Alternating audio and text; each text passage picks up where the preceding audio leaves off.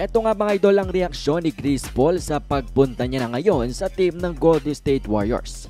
Pero bago yan, saglitan muna at update muna tayo sa ginawang trade ng Phoenix pati na rin ng Wizards dahil grabe rin palang naging kapalit mga idol neto ni Bradley Bill. Update nga sa atin ngayong araw na anim na second round picks ang matatanggap ng Wizards mula nga sa Suns at pati na nga rin daw apat na first round pick swaps. So in total, 10 na picks ang natanggap nga ng Wizards kapalit ni Bradley Bill. At talaga namang medyo humanga din ang mga NBA fans dito sa Wizards GM, ang bagong Wizards GM. Dahil akala nga nila ay naisa na sila netong Phoenix sa pagkuha kay Bradley Bill ng small amount lang. Pero nung ilabas na nga yung detalye mga idol ay 10 na picks pala ang binigay ng Phoenix Suns dito sa Wizards.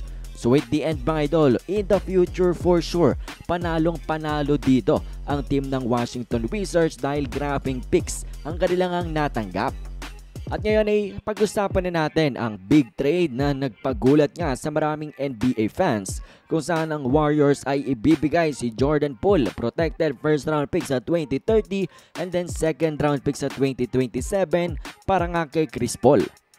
Yan mga idol ang talaga namang hindi maintindihan din ng mga Warriors fans na trade.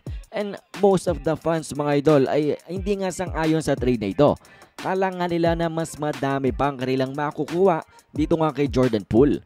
And well mga idol, sinabi rin kasi neto ni Mike Dunleavy Jr. ang bagong GM ng Golden State Warriors na hindi nila iti-trade. Ito nga si Jordan Poole. Panoorin niyo itong kanyang naging payag. As here, Jordan, especially with his contract extension, uh, plan to have him here for four more years at least. Plano nga daw neto Mike Dunleavy Jr. 3 days ago na pa-stayin pa itong si JP sa Warriors for 4 more years. Pero mga idol, 72 hours lang ang tinigal, sinip na papunta sa Washington.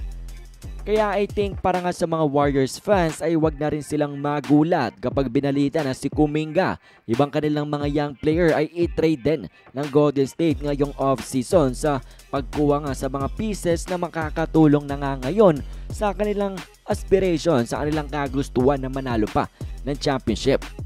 At ito mga idol ang naging reaksyon na ni Chris Paul sa naging trade niya nga papunta sa Warriors.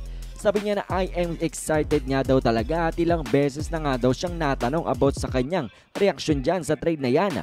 Pero talaga naman daw na excited na siya. Nakapag-usap na nga rin daw sila ni Steph mga idol and it was good nga daw. Maganda daw ang kanilang naging pag-uusap ni Stephen Curry matapos siyang mabalitaan itong trade niya.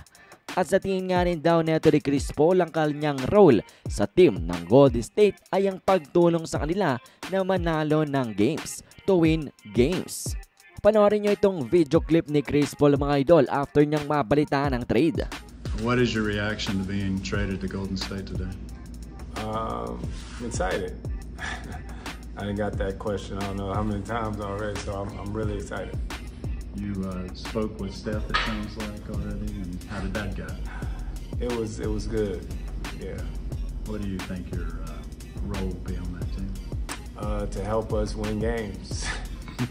Kayo ba? Ano bang masasabi nyo dito nga sa big and nakakagulat na trade na ito ng Warriors? JP for CP3. Komento nyo lamang ang inyong mga opinyon.